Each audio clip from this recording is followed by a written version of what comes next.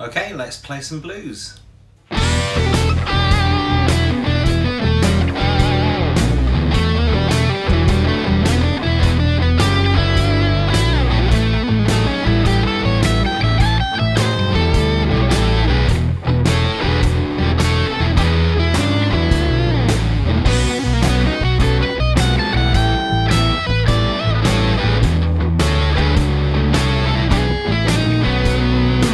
One thing that I think is really important when learning to play an instrument is learning to improvise, learning to jam with people, bounce ideas off of each other. So I thought it'd be fun to do something like that today. So what you heard me do at the beginning was improvise a little solo over a bluesy backing track. The majority of my solo was built from the E blues scale and that's quite a simple scale and only uses the notes E, G, A, B flat, B and D. Of course you can play this in a multitude of areas.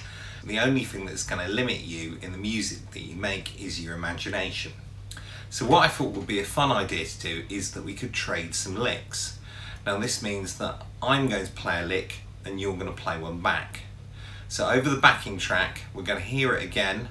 I'm going to play a phrase and then you're going to play a phrase. So it's literally going to be then your turn. Or then it'll be me and then you and then so on. And I'll also include a link how to play the scales as well.